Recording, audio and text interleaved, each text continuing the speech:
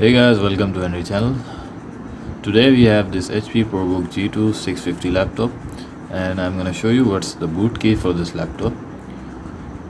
Okay, so all you have to do is press the escape key.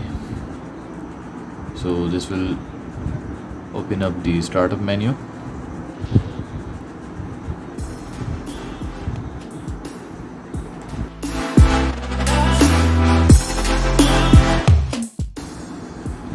So here you can see.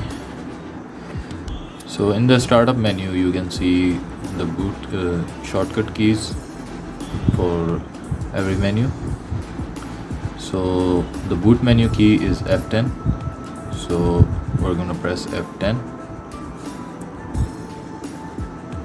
and that's it. Now we're in boot menu.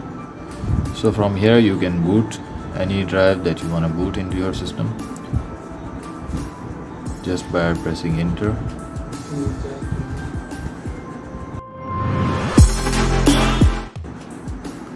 So guys that's all in this video. Make sure to sub the channel and leave a thumbs up. Bye for now